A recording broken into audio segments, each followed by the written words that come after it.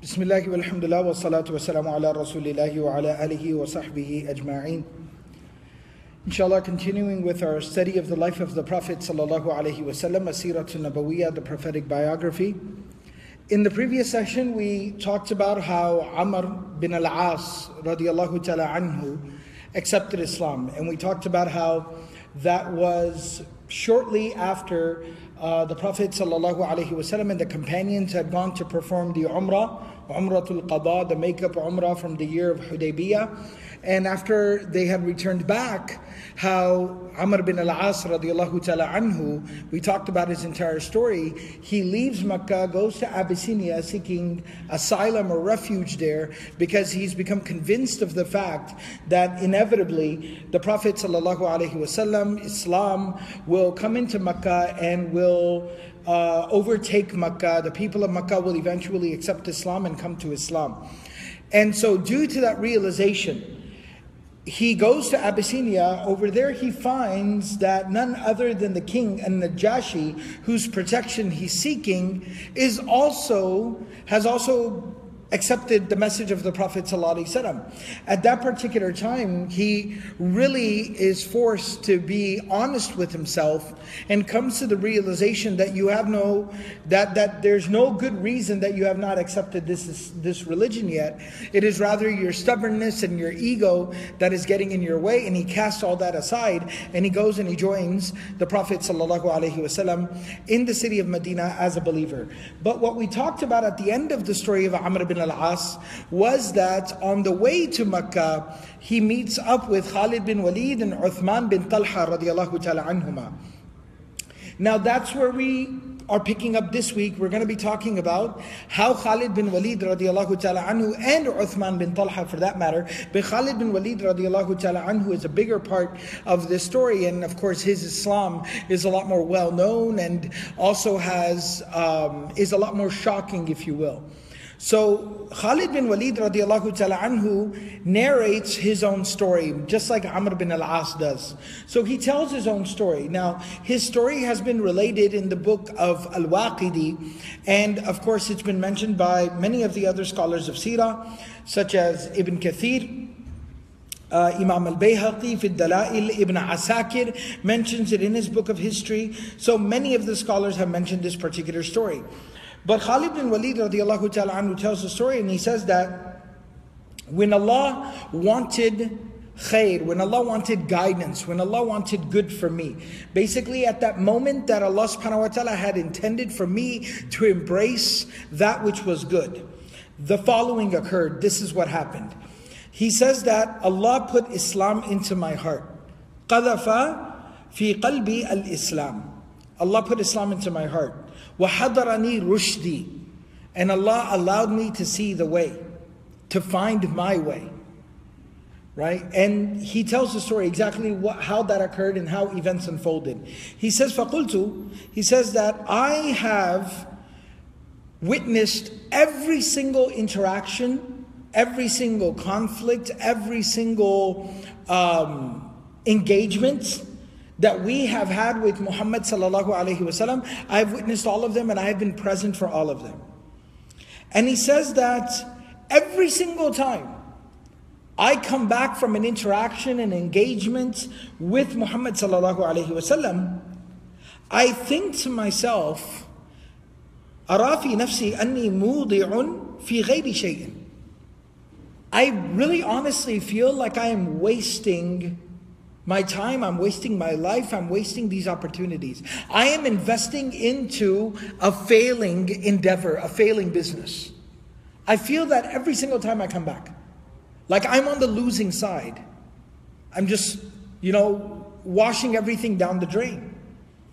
So he says that, and I and I come to further realize and become confirmed, you know, and, and really become more and more convinced of the fact that Muhammad will win out when everything is said and done.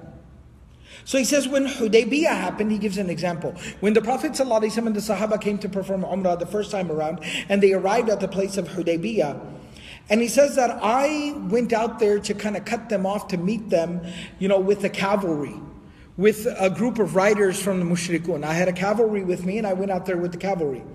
So I met and I cut off the Prophet ﷺ and his companions at the place of Usfan. And I stood across from him and I obstructed his way. I stood in his path between him and Mecca. He says that he prayed Salatul Dhuhr with his companions in front of us The two armies, we were there as a cavalry facing off, standing off against them, in between them and Mecca. And time for Dhuhr came, and he gathered his companions together and they prayed Dhuhr. So he says that we were standing there and watching them, and he says, فَهَمَمْنَا أَن نُغِيرَ عَلَيْهِمْ we really seriously considered the opportunity at that moment, at that time, to attack them while they were praying. But for some reason, we just, we didn't, you know, really, we didn't take any action. We just could not find the courage or the confidence to go through with it. So he says that, and وَكَانَ فِيهِ خِيرًا. He says, and of course that was better. I realize that now that it was better that we did not do that. Nevertheless, at that moment, at that time, we really seriously considered it. We kind of started whispering to each other. We thought about it, but we just, for whatever reason, we did not pull the trigger. And that was good, he says. But he says that the Prophet ﷺ, the Prophet ﷺ realized at that moment what we were thinking just from some of our whispering to one another, some of our movements, some of our anxiousness. He, the Prophet ﷺ read us by the time they were done with Dhuhr afterwards. He kind of read us and he realized that something fishy is cooking here. And so he says that then the Prophet when Asr time came, he did Salatul Khawf. And we talked about Salatul Khawf previously here, that it's basically the Quran lays out the procedure. It's a specific type of prayer that is performed in the battlefield in a way where basically half the army prays while half the army remains alert and on guard and ready to defend and attack if need be. And then they basically switch off accordingly. So he says that he performed Salatul Khawf. فَوَقَعَ ذَلِكَ مِنَّا مَوْقِعًا and he says that had a huge impact on us, just the beauty of it, the, the, the, the symmetry of it, how they were there, standing there, ready to fight, but at the same time, not ever willing to give up their devotion, their devotion to their Lord and Master, to Allah subhanahu wa ta'ala. It really impacted us. It affected me deeply. And he says that a and I re, we I, I kind of said at that time, look, he's protected, and uh, they're not going to let their guard down. So there's really no point to this anymore. So he says that we we pulled back, and the Muslim army kind of went around uh, our you know cavalry and eventually, when they went ahead further, then Quraysh came out. قد صالح فلما صالح قريش بالحديبية ودافعته قريش بالراحي. He says then when the Quraysh came out there and they signed the treaty of Hudaybiyah, and the Quraysh basically stood their ground in one of the terms of the treaty which was that the Muslims would not proceed on into Mecca, but they would turn around and they would head back from here. قلت في نفسي أي شيء بقي he said, I kind of thought to myself, what more remains? Like, what is holding you back? What legitimate reason do you have to not believe in Muhammad at this time? Ain al madhab. Like, where are you going? What are you planning? What's the game plan here? What are you thinking? I just became very critical with myself. Ilan Najashi, are you going to go to Najashi? Are you going to go to East Africa and try to seek asylum there? if Muhammad comes back here and takes over Mecca. And he says, فَقَدْ اتَّبَعَ مُحَمَّدًا وَأَصْحَابُهُ عِنْدَهُ آمِنُونَ He says that the companions of the Prophet ﷺ went there and were safe and sound. They were protected there. So how do you not know that that place might not become more sympathetic to Muhammad ﷺ? So you can't escape to Africa. He says, okay, فَأَخْرُجِ إِلَىٰ هِرَقَلْ I'll go to Rome. And then he said, Then I thought to myself, I'm going to abandon my own religion, my people, my way of life, and go and live in a strange land where I don't know them, I don't know their custom, I don't know their language, I don't know their religion. I don't know anything about these people. And essentially become some vagabond, become some outsider. When Khalid bin Walid radiallahu ta'ala anhu, course his father is Walid bin Mughira, he's the son of a chief. He's one of the greatest, you know, military masterminds that his people has ever seen. He's a man of great reputation and great respect. And so he's just like, that didn't sit well with me. So he says, Will I just remain here and stay here and not go anywhere? And he says, I, I remained kind of in that turmoil, not knowing what to do with myself, when the Prophet ﷺ came to Makkah the following year to perform the Umrah, Umratul Qada. So he said, when that happened, many of the leaders of the Quraysh, as I talked about in Umratul Qada, they had left Makkah. They left Makkah. They said, we don't want to sit here and watch this whole, you know, charade. So they basically left Makkah as a form of almost like silent protest, even though they had a peace treaty. But nevertheless, so he says, I left Makkah as well and I didn't want to remain there. He says, my brother Al Walid ibn Al Walid, Khalid bin Walid's brother, was named Walid himself, Walid ibn al-Walid, he says he had become Muslim. And he had gone to Medina. And he was amongst the companions of the Prophet ﷺ. And he had come with the Prophet ﷺ to Mecca to perform Umrah. So when he came there, the Prophet ﷺ, you know, my brother actually, he says that he, he kind of looked around for me. طلبني فلم يجدني. He looked around for me and he couldn't find me. So he wrote me a letter. And in that, he said that he wrote to me that Bismillahir Rahmanir Rahim, Amma Ba'd. He said that, you know, he started with the name of Allah and he said, as for what follows, فَإِنِّي لَمْ أَرَى أَعْجَبَ مِنْ ذِهَابِ رَأْيِكَ عَنِ الْإِسْلَامِ he says that I have never seen, my brother wrote to me, Khalid says, my brother wrote to me, I've never seen anything more strange, more surprising, more astounding than you not being able to figure out the truth of Islam. وَعَقْلُكَ عَقْلُكَ and it's like an expression in Arabic, and what it translates to as, what it translates to is that, and you are as intelligent as you are. You are as brilliant as you are. And in spite of your brilliance, in spite of your intelligence, you haven't figured out Islam yet? Like you haven't realized that this is, is this is what you need to do, this is where you belong? That's the strangest thing I've ever seen in my life.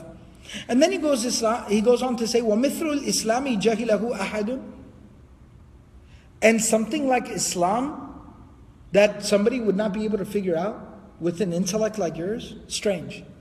And then he goes on to write, he says, وَقَدْ سَأَلَنِي رَسُولُ اللَّهِ صَلَّى اللَّهِ عَلَيْهِ عَنْكَ And he says, oh brother, the Prophet ﷺ asked me about you.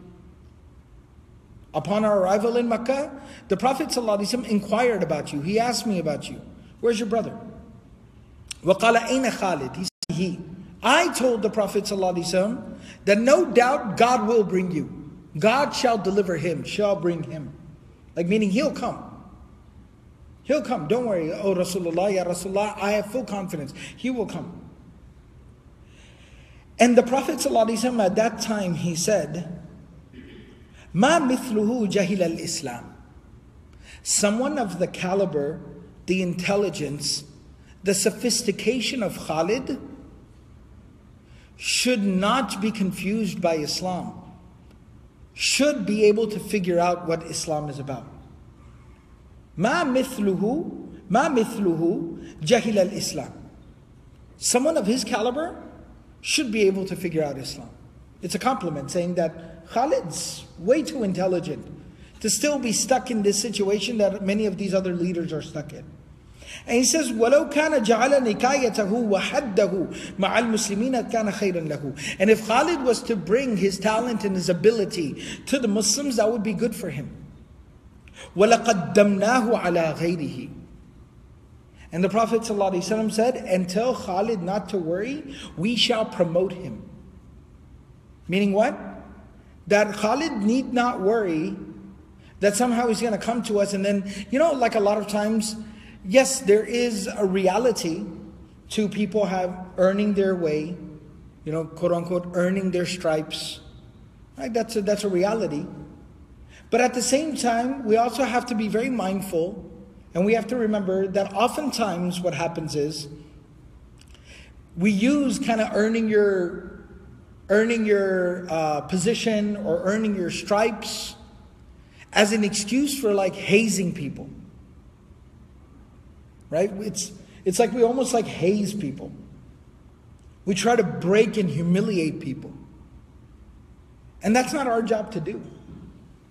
That's not our job to do. But the Prophet ﷺ taught us a very valuable lesson. He said, خِيَارُكُمْ فِي الْجَاهِلِيَّةِ خِيَارُكُمْ فِي الْإِسْلَامِ إِذَا فُقِهُ The Prophet ﷺ said, the best amongst you in the times of ignorance, pre-Islam, are the best amongst you in Islam as long as they come to understand and realize the truth of Islam. So the Prophet ﷺ is saying, وَلَقَدَّمْنَاهُ عَلَى غَيْرِهِ Don't worry, it's not like we're going to make Khalid, you know, uh, pick up you know, after the soldiers and we're going to somehow like, you know, really rough him up and make him start from the mail room all the way at the bottom. Khalid is a brilliant military mind. He's a brilliant strategist. So what we're going to do with Khalid is that we will utilize his talents. He will not be wasted here. Tell him not to worry about that. So he says this is what the Prophet ﷺ has said. Then he said, فَاسْتَدْرِكْ يَا أَخِي مَا قَدْ فَاتَكَ he says that, so, oh, my brother, there's still time to make up for, there's still an opportunity to make up for lost time. Meaning you should have accepted Islam a long time ago. The gist of this is, Khalid, the Prophet is saying, Khalid is so brilliant. How has he not figured this out yet? He should come and join us. Don't worry, we will we'll put him in his proper position. We'll give him the respect that he deserves. So now he says, Oh, my brother, please, even now, capitalize on the opportunity to make up for lost time, lost opportunities. He said, فَقَدْ فَاتَكَ مَوَاطٍ صَالِحًا He says, you have missed some amazing opportunities. You have missed some amazing opportunities. Badr, Uhud, Khandaq, Khaybar. Like you've missed all these opportunities. So Khalid goes on to say that when the letter reached me, نَشِدْتُ لِلْخُرُوجِ At that moment I realized and I said, that's it, enough is enough. Right? The compliments, and he actually talks about this, that the compliments and the words of the Prophet ﷺ, he says, وَزَادَنِي رَغْبَةً فِي الْإِسْلَامِ It increased my desire, my interest in Islam. وَسَرَّنِي سُؤَالُ رَسُولِ اللَّهِ صَلَّى اللَّهِ وسلم عَنِّي And it made me so happy and brought me such relief and confidence that the Prophet ﷺ would ask about me that he would ask about me. وَأَرَى فِي النَّوْمِ Not only that, he says, I saw a dream then.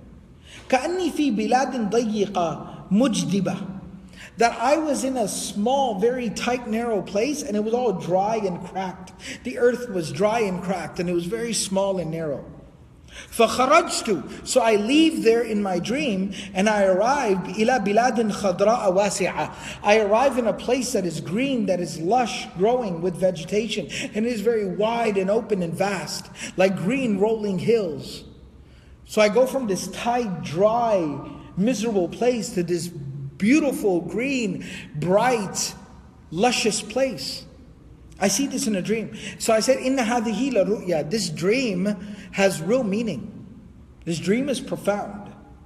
So he says that when I arrived in the city of Medina, he's kind of telling the story forward. He's kind of flash forwarding, if you will. We'll come back to this point. But he says, let me just tell you one thing real quickly. When I got to Medina, which I'm going to get to in just a minute, but when I did get to Medina, I said to myself, لَأَذْكُرَنَّهَا لِأَبِي بَكَرٍ I'm going to tell Abu Bakr radiallahu anhu about my dream. So when I told him, his response to me was, مَخْرَجُكَ الَّذِي هَدَاكَ اللَّهُ لِلْإِسْلَامِ this is Allah, this the interpretation of this dream is that Allah guided you to Islam.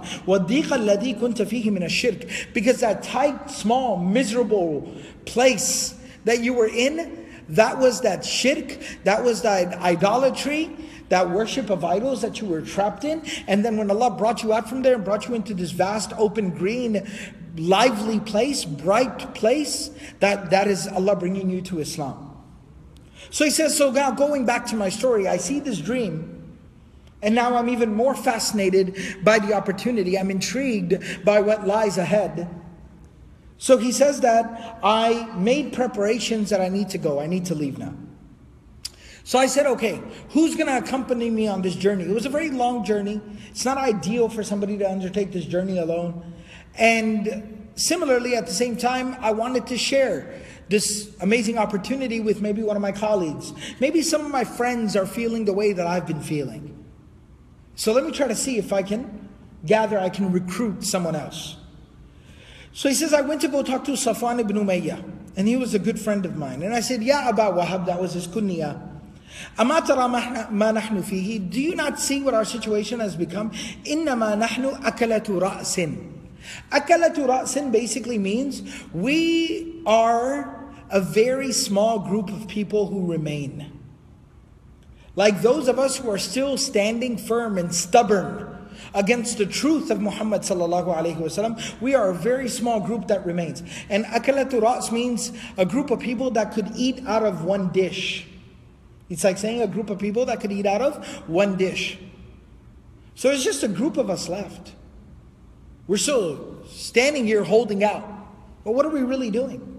And Muhammad sallallahu alaihi wasallam, ظهر على العرب والعجم. Not only the Arabs, even the non-Arabs are now coming to Islam. So we should go join Muhammad and follow him. Because فَإِنَّ الشَّرَفَ مُحَمَّدٍ لَنَا شَرَفٌ Because if Muhammad honor will be our honor. His victory will be our victory. فَأَبَا أَشَدَّ الْإِبَاء He says that he severely refused. He very adamantly, very, you know, vigorously refused this, this, this advance or this suggestion from me. He said that لو لم يبقى غيري ما أبدا. He says you you say just a small group of us remain. If nobody but myself, if there was nobody left but just me, I was the only one who remained, I still wouldn't follow Muhammad sallallahu alaihi wasallam. So he says, فَافْتَرَقْنَا I basically left him. And I realized to myself, I kind of thought to myself, هَذَا رَجُلٌ قُتِلَ أَخُوهُ أَبُوهُ بِبَدْرٍ This is a man, his father and his brother were killed in the Battle of Badr. This man, his father and his brother were killed in Badr. He was the, Safwan ibn Umayyah was the son of Umayyah ibn Khalaf. So he says, I kind of dismissed it. I said, you know, he's still holding out his grudge. Whatever. So I went and I met Ikrimah, the son of Abu Jahl.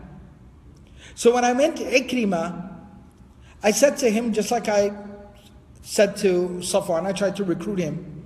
And he gave me a very similar response saying, no, absolutely no. Even though Ikrimah would accept Islam later on, at the conquest, at the Fath of Mecca, which we'll talk about later, inshallah. So he says, I just told him, Faktum alayya. I said, listen, I realized uh, this was the second person I was telling now. I didn't want this news to spread too much. I didn't want to get in trouble. So I kind of just told Ikrimah, I said, look, we go a long ways back. Our fathers were colleagues, you know, Ikrimah's father Abu Jahl, Khalid's father Al-Walid ibn Mughira. So we go way back. We grew up together. Listen, just don't tell anyone what I told you. So he said, Don't worry, la afkuruhu, I won't tell nobody. You mind your own business, I mind my own business. So he says, I went back home and I told, you know, I, I basically I asked my servant, you know, kind of get my ride, my transportation ready. I packed my bag and I started to head out. And as I was heading out, I saw Uthman bin Talha, another leader of the Quraysh. So I said, you know, I said to myself, in the hada, and I, at this time I started realizing how many people are you going to go around and tell? So I said, let me just kind of keep this to myself. So I, but I thought to myself, in the hada li sadiq. This is a very good friend of mine. فَلَوْ ذَكَرْتُ لَهُ مَا أَرْجُو He said, what if I was to kind of, you know, maybe just share with him what I'm thinking? But then I started to think to myself, his father was also killed in battle against the Muslims. So I decided I'm not going to tell him. But then I thought to myself, he says, وَمَا عَلَيَّ وَأَنَا رَاحِلٌ مِّن سَاعَتِي So what's the worst that could happen? I've already departed from home. I'm already on my ride in my transportation. So even if he turns on me, tries to notify somebody, I'll be long gone before they realize what happened. So I said, you know what? Might as well. I threw caution to the wind. I went to him, فَذَكَرْتُ لَهُ مَا صَارَ الْأَمْرُ إِلَيْهِ I went and I just told him, look, here's the deal. Here's what I'm thinking. So I told him, إِنَّمَا نَحْنُ بِمَنْزِلَةِ ثَعْلَبٍ فِي جُحْرٍ We are like a fox that is trapped inside of its hole. Like it's being hunted and it's gotten cornered and trapped in its hole. لو صب لو صب فيه ذنوب من ماء لخرج and what they would do a lot of times when an animal would kind of go and like hide out in its hole, what they would do is they would bring water and they would just dump water into the hole. So what would the animal wouldn't want to drown? So what would the animal do? Come out, like whack-a-mole, right? So the animal would come out, and that's when you grab the animal. So he said that I went and I told Uthman bin Talha, we're like that fox hiding out in its hole, waiting for things to play out with Muhammad. One day somebody's to come and dump a bucket of water in here and we're going to have to poke our heads out, and that's when we'll be in trouble.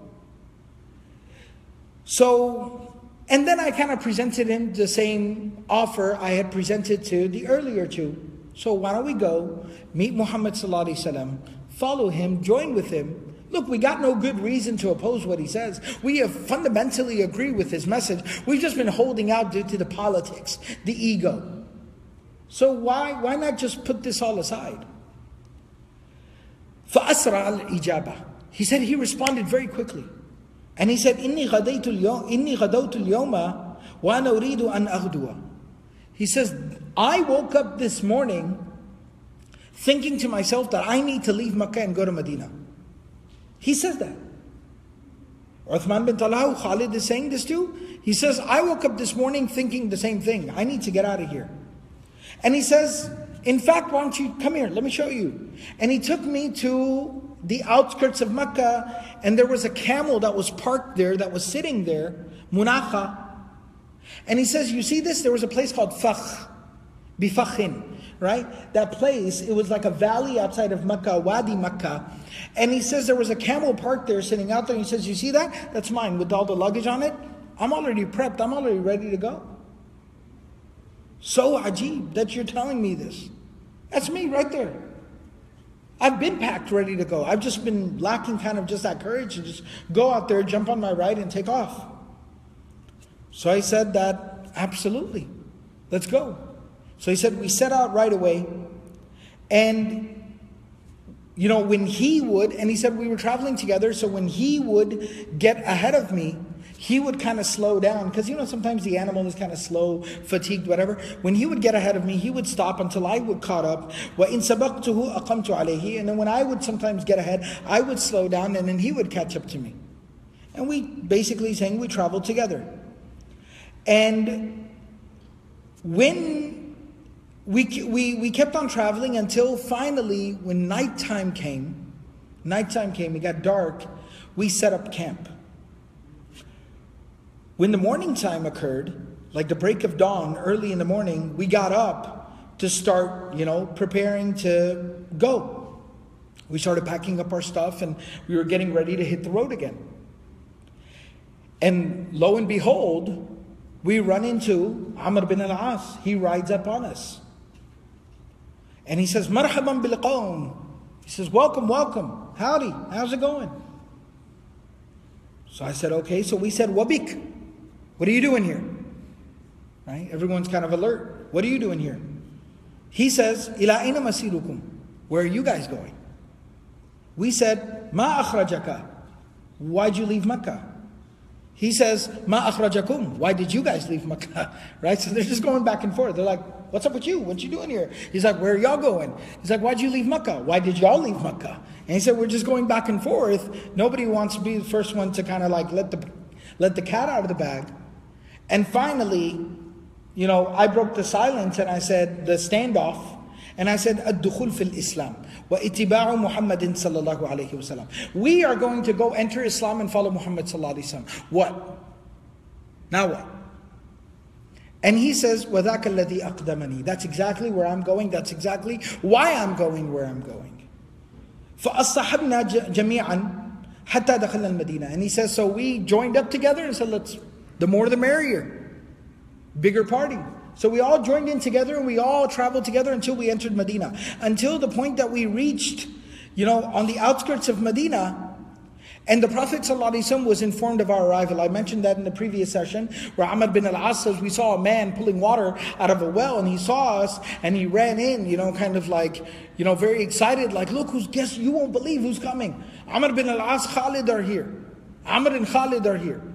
Right? So he goes in and he informs everyone, informs the Prophet ﷺ, and the Prophet ﷺ is very happy that we're arriving, and he tells everybody, and everyone's very excited that we're arriving. So we stopped and we changed into the nicest clothes that we had. We became very clean and presentable. We went to the Prophet ﷺ. I found my brother there waiting for me outside the masjid, and when I met my brother, so you can imagine when a brother meets a brother, right?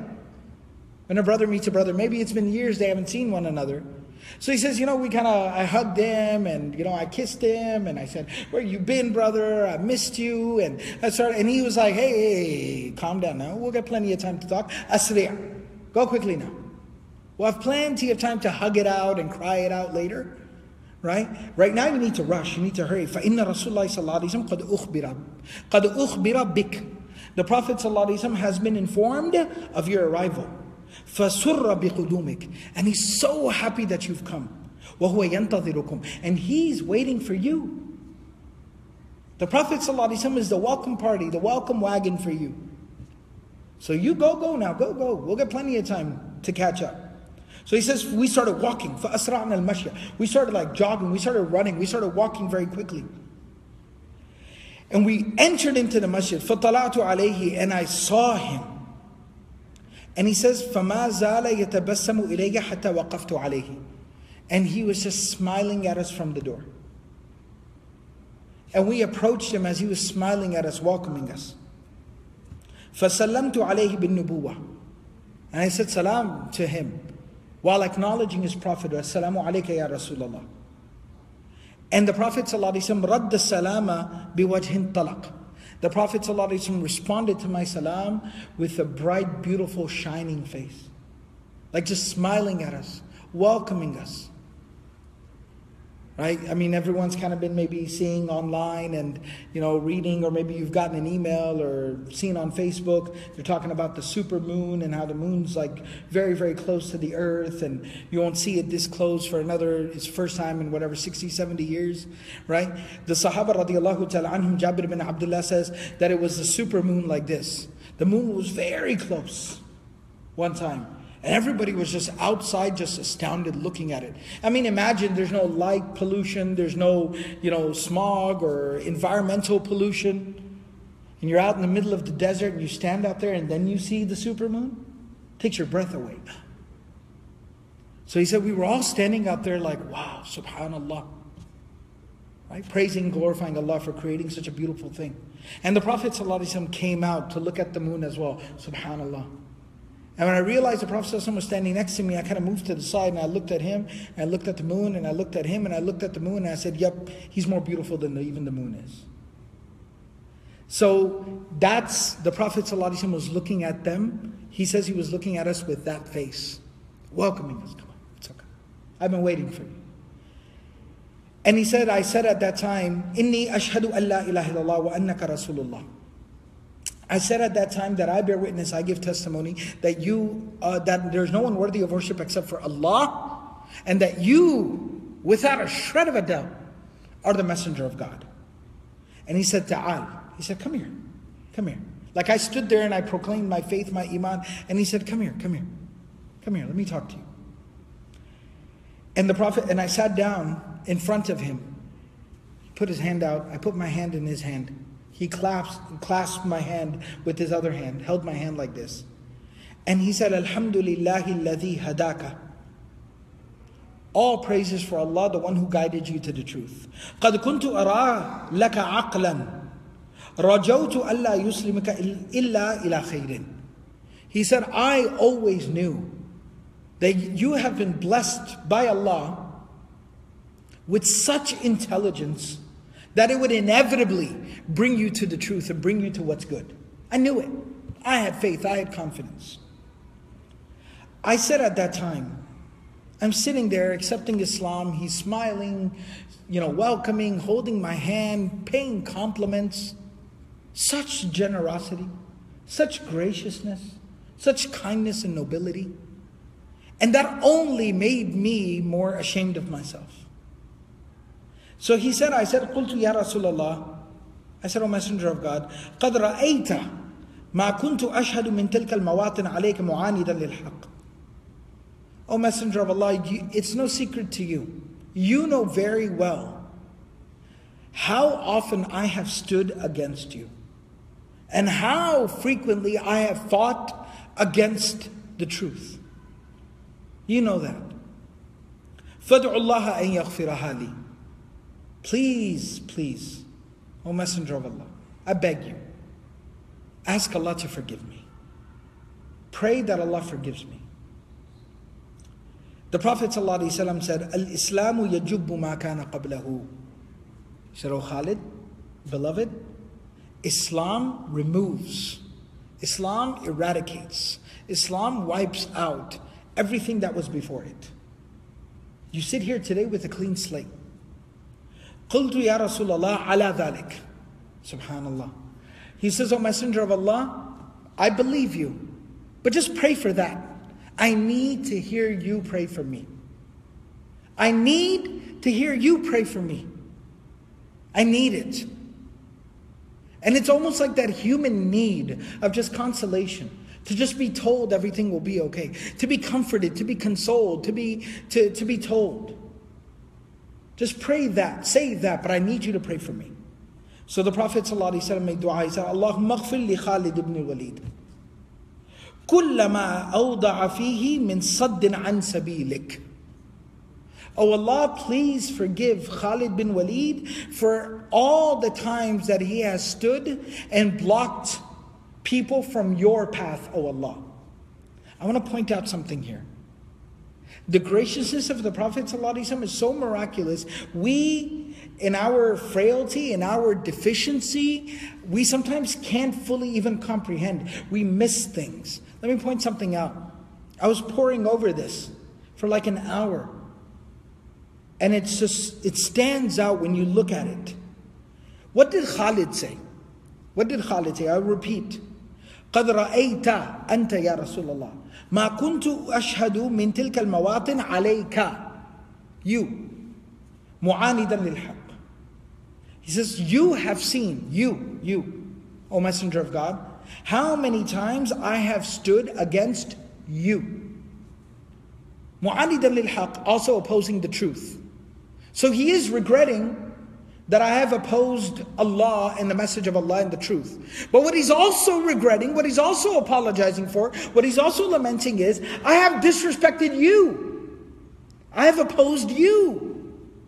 Listen to the dua of the Prophet ﷺ. First of all, he says, Khalid, you got nothing to worry about. It's a clean slate. When Khalid insists, listen to the dua of the Prophet ﷺ. Allahumma ghfir li Khalid bin Walid. Oh Allah, forgive Khalid bin Walid for what? كلما أوضع فيه من صد عن سبيلك Every time he has stood blocking people from your path, O Allah, he does not mention himself. The humility, the graciousness of the Prophet ﷺ. Khalid is specifically apologizing for the times I did something to you. The Prophet ﷺ said, That's not even a thing. There's nothing to make dua about there. Fine, Allah has already forgiven you. But if you want some reassurance, I'll make dua that Allah forgives you for opposing the message of Allah. Me? What you need to apologize to me for? That's my job. My job is to talk to you, to be kind to you to try to convince you. And when you refuse and you resist, it's my job to keep on trying. And then when you oppose me and you confront me and you attack me, it's my job to not take it personally because it's not about me. If it's about anyone aside from Allah subhanahu wa ta'ala, it's the Prophet. He's a part of our faith, our iman. La ilaha illallah, Muhammadur Rasulullah.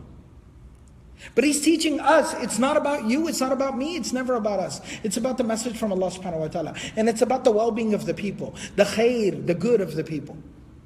It means to get over ourselves. It's not about us. Can you believe we turn it into it? We turn it, we, we make it about ourselves? The Prophet ﷺ would not make it about himself. Who are we?